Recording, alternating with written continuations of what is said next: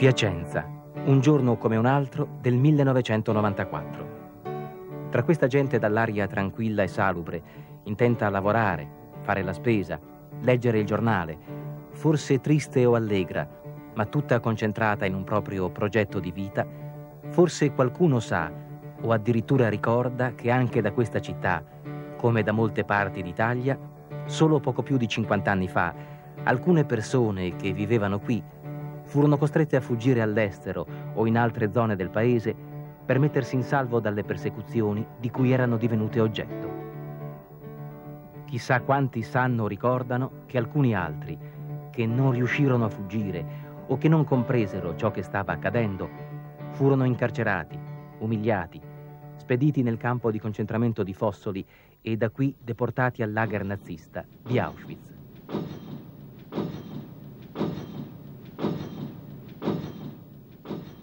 Stiamo parlando dei sei ebrei che fra l'aprile e l'agosto del 1944 partirono da Piacenza alla volta di Fossoli e Auschwitz. Tina Pesaro di Castel San Giovanni, Enrico Richetti di Piacenza e l'intera famiglia dei Nichtberger, residente da un paio d'anni a Carpaneto.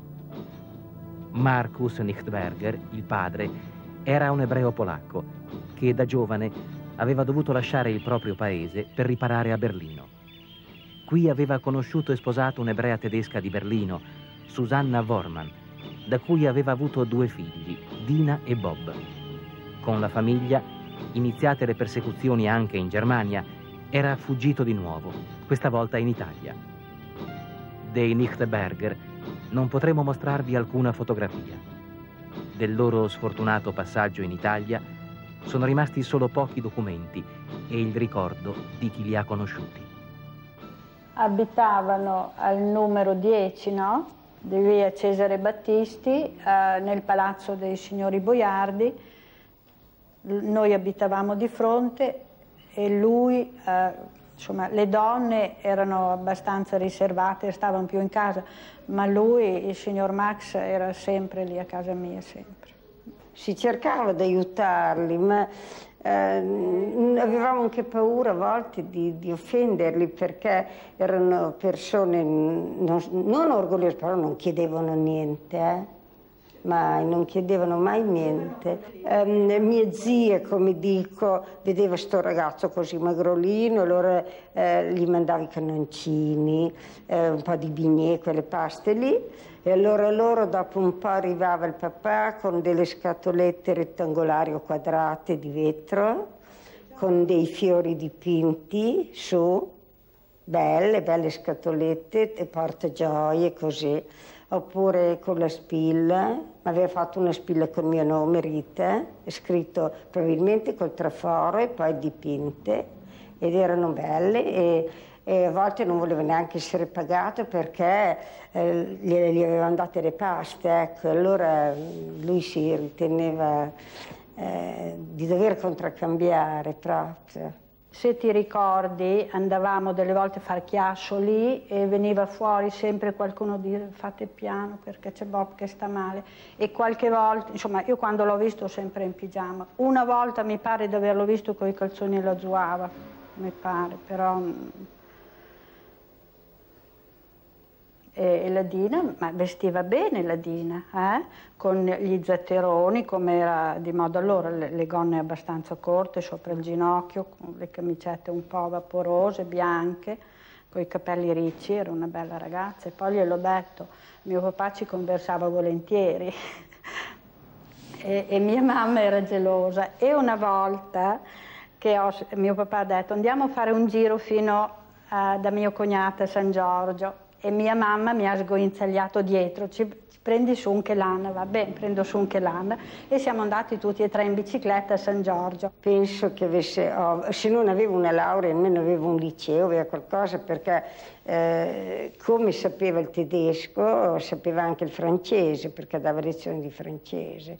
Proprio si, sono, si erano organizzati cercando di, di, guadagnare onestamente quello che potevano, e così ecco. E facevano anche quelle spille, c'era il nome, no? Eh, che poi lo mettevano nella colla e lo intingevano nel vetro triturato, negli specchi triturati, che poi brillavano, sembravano di brillantina, e facevano degli omini con i coralli, le spille, le scatolette, così, li, la gente di Carpeneto li comperava e loro vivevano con quei soldi lì, ma io non mi ricordo che avessero avuto la tessera nonaria, insomma, in difficoltà sicuramente c'erano. Io mi ricordo appena che al mattino, al mattino mio papà ha detto ne, sono venuti a prendere i polacchi, ma non ha detto chi e quanti, quella cosa lì non me la ricordo. E loro hanno cominciato le congetture eh, li avranno portati in campo di concentramento, li avranno deportati in Germania, saranno ancora vivi, ogni tanto mio papà diceva saranno ancora vivi, ci saranno ancora.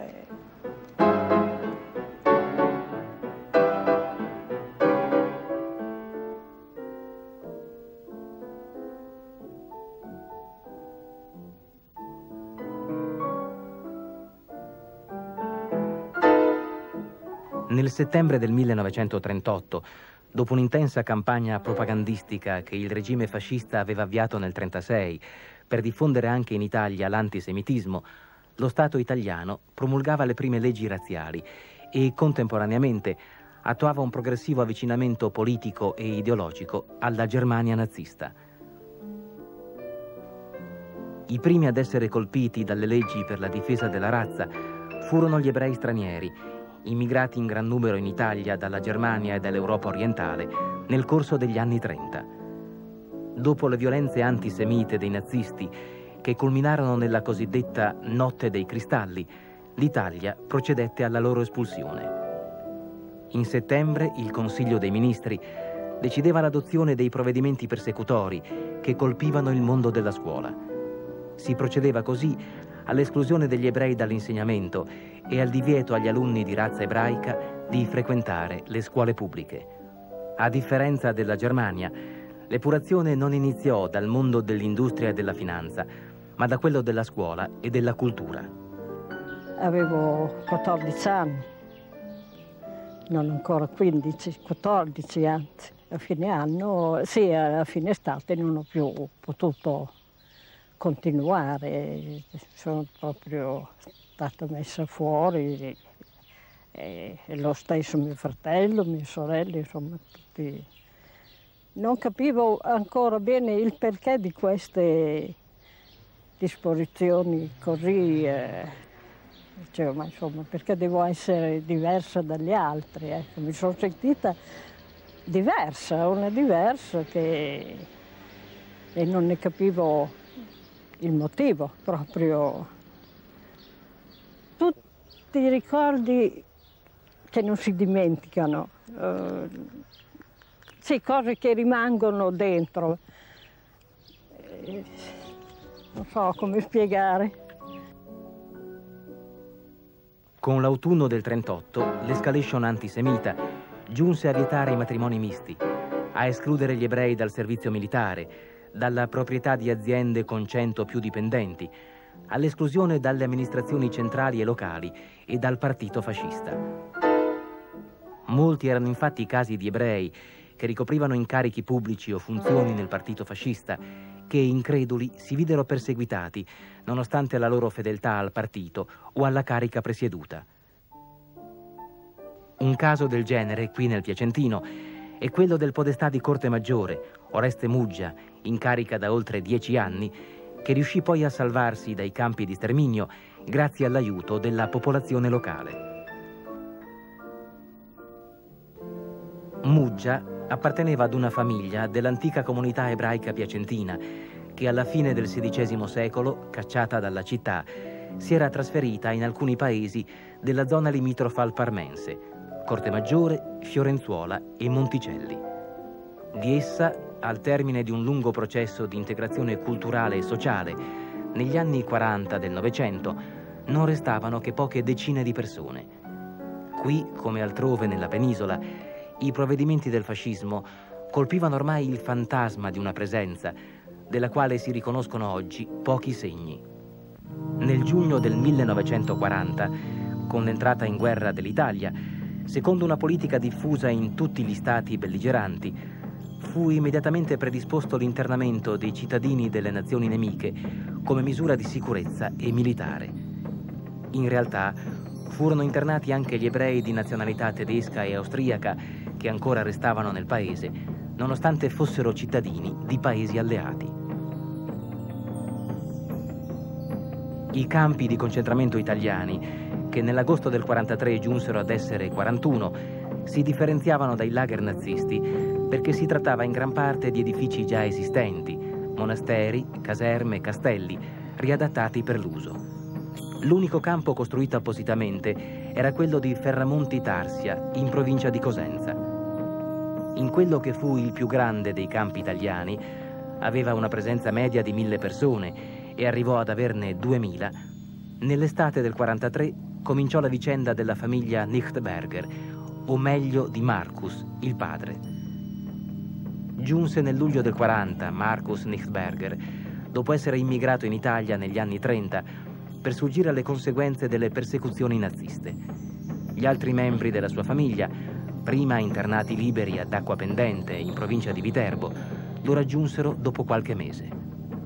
Nel campo di Ferramonti la situazione era difficile, ma certo non paragonabile a quella vissuta nei campi tedeschi. Gli internati, nonostante le restrizioni, la malaria, il campo sorgeva in una zona acquitrinosa, il sovraffollamento, la malnutrizione, che del resto interessava anche la popolazione locale, godevano di una certa autonomia.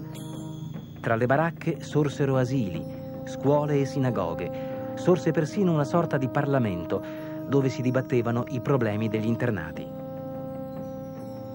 Nell'estate del 41, alle famiglie che si trovavano a Ferramonti, fu concessa la possibilità di trasferirsi all'internamento libero.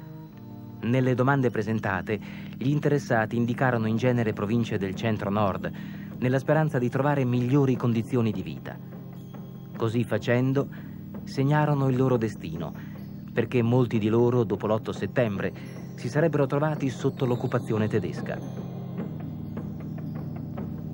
Questo fu il caso dei Nichtberger, che ottennero l'autorizzazione a trasferirsi da Ferramonti a Carpaneto Piacentino nell'ottobre del 1941.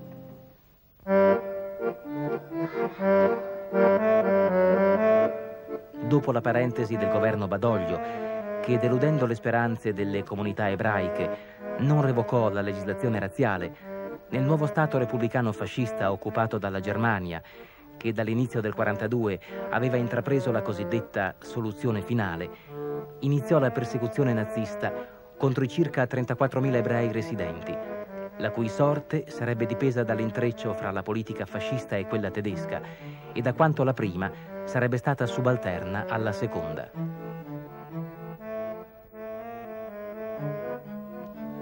L'8 novembre del 43 la questura di Piacenza chiese ai carabinieri e alla polizia fascista di segnalare il nome degli ebrei che si erano mostrati insofferenti verso il nuovo Stato repubblicano o che avessero preso parte a manifestazioni di solidarietà al governo Badoglio. La disposizione si intreccia con la storia della famiglia dei Pesaro, che originari di Ferrara risiedevano dal 1912 a Castel San Giovanni. A Castel San Giovanni è ricercato Emilio, il figlio maggiore. Il 26 luglio, nell'euforia per la caduta del regime fascista, il giovane che aveva 28 anni, insieme ad altri giovani, aveva bruciato nella piazza del paese il ritratto di Mussolini. Nel novembre i militi fascisti, non trovando Emilio, prelevarono dalla propria abitazione a Castel San Giovanni la madre, Bice Calabresi, e la portarono in carcere.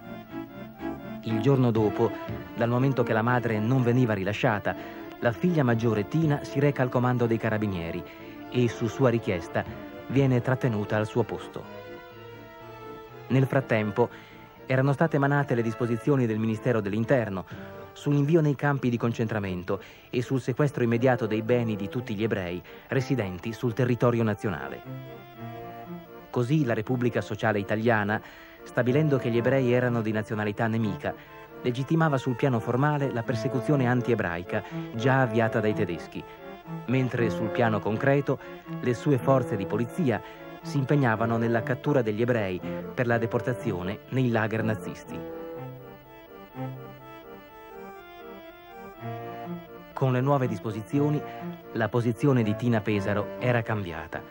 Non era più trattenuta in quanto ostaggio, ma in quanto ebrea, in attesa di essere internata e trasferita nelle carceri di Piacenza.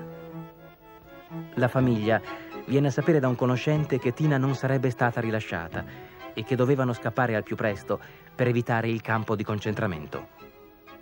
È cominciata anche per noi la speranza che rilasciassero la Tina. Intanto però sono arrivati milizie, carabinieri alla porta e il commissario nominato mm, per, eh, come si dice, sequestrare tutta la fabbrica.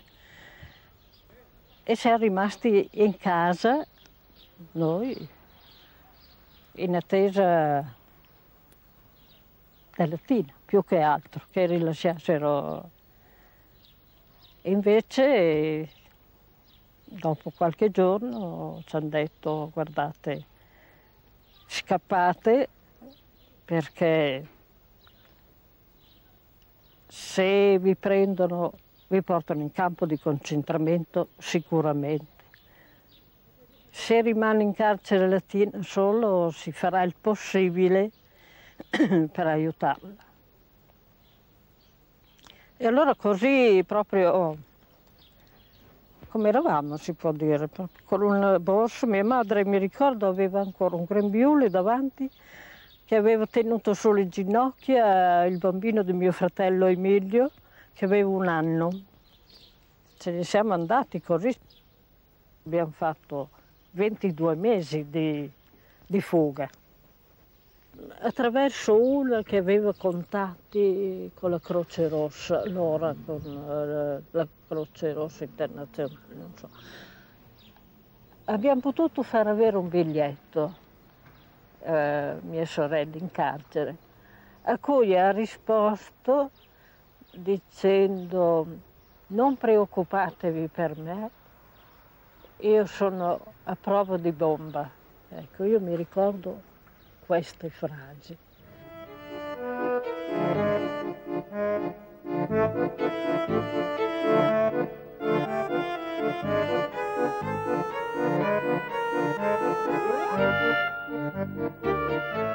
Attivato nel frattempo il campo di smistamento di Fossoli, da cui partiranno i convogli, il 20 dicembre del 43 arriva la prima richiesta di consegna alla polizia germanica degli ebrei arrestati. Ha inizio il tentativo da parte delle autorità locali italiane di limitare le pretese dei tedeschi sugli ebrei residenti. La prefettura di Piacenza risponde al comando tedesco di Bologna inviando l'elenco degli ebrei residenti nella provincia che per ragioni diverse non avevano potuto o voluto scappare. L'elenco presentava solo sei nomi. Tra questi, oltre a Tina Pesaro, Marcus, Susanna, Dina e Bob Nichtberger, c'era un altro nome, quello di Ada Levi, residente a Corte Maggiore. Quest'ultima riuscirà poi a salvarsi facendosi ricoverare all'ospedale psichiatrico di Piacenza, dove rimase fino alla fine della guerra, morendo poco dopo, nel 1946. Nel carcere di Piacenza viene trasferito alla fine del mese di febbraio un altro ebreo. È Enrico Richetti, arrestato il 26 gennaio del 44 a Firenze, sulla via della fuga. Nato a Gorizia, Enrico era laureato in giurisprudenza e in lettere, conosceva il tedesco e l'inglese ed era iscritto al partito fascista, nel quale aveva sempre riposto una fiducia totale, anche quando furono promulgate le leggi razziali. Si era trasferito a Piacenza all'inizio del 43, insieme alla compagna, Rosanna Ognibene, e qui aveva aperto un negozio di macchine per scrivere Everest, che aveva intestato a lei per non incorrere nelle disposizioni antisemite.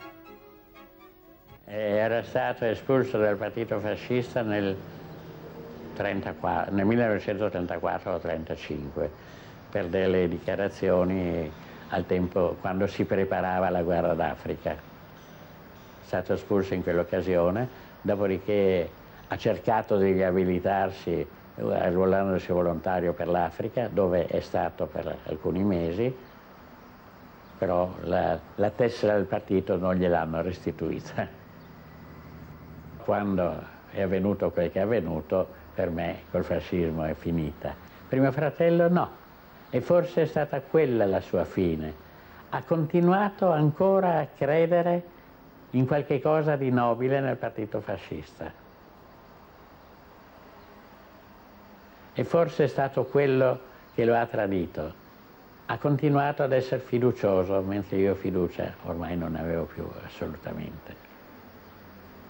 Anche dopo la questione razziale, anche in piena questione razziale, lui continuava ad essere, non dico fascista, ma possibilista nei, nei confronti del fascismo.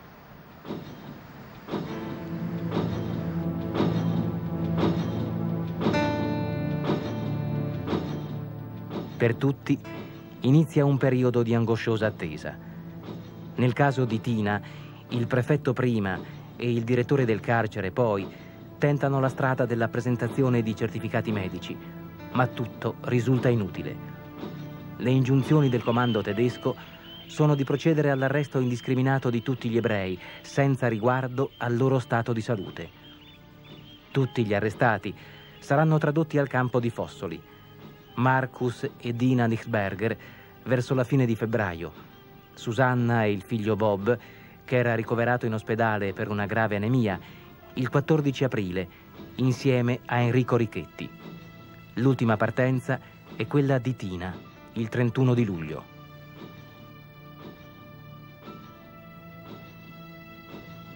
La famiglia Nichtberger non poté più ricongiungersi. Marcus e Dina furono deportati ad Auschwitz sul convoglio numero 9 il 5 aprile 1944.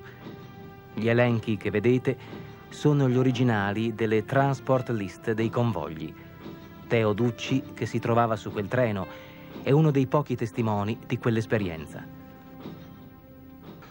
Questo viaggio è iniziato nella prospettiva di andare a lavorare in Germania. Quando sono stato arrestato a Firenze mi hanno detto che sarei dovuto andare in Germania a lavorare. A Fossoli, che era un campo poi di transito, evidentemente ero in attesa di andare a lavorare in Germania. Infatti la sera del 4 aprile 1944 tutti gli ebrei che nel, si trovavano nel campo di Fossoli hanno avuto l'ordine di prepararsi perché il giorno dopo saremmo partiti appunto per la Germania. La mattina dopo dei camion ci hanno portato alla stazione di Carpi, che è a pochi chilometri, e lì ci attendeva un convoglio di carri merci sul quale siamo stati costretti a salire. In quel momento ho visto che sulla fiancata del vagone c'era un cartello Auschwitz. Non avevo mai sentito parlare di Auschwitz. Dopo tre giorni di viaggio, il treno si ferma su, in, in, praticamente in campagna a pochi chilometri da una stazione che non ho mai identificato. Spalancano le porte e ci dicono di uscire tutti quanti per le nostre esigenze fisiologiche.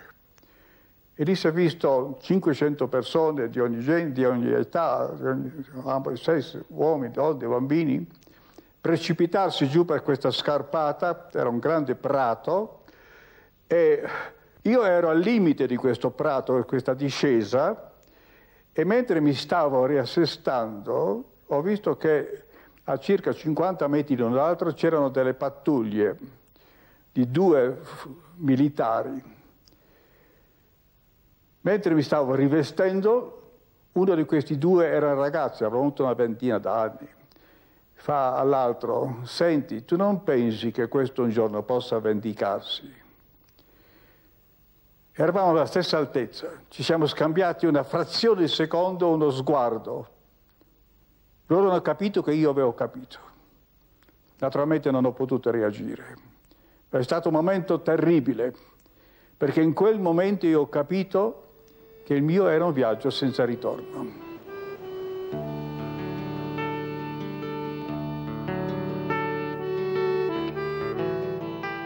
Sul convoglio successivo, il numero 10, partirono Susanna e Bob Nichtberger ed Enrico Richetti. Sull'ultimo convoglio, infine, il numero 14, poco prima dello smantellamento del campo di Fossoli, ormai minacciato dall'avanzata alleata, si trovava Tina, deportata ad Auschwitz soltanto un giorno dopo il suo arrivo al campo italiano.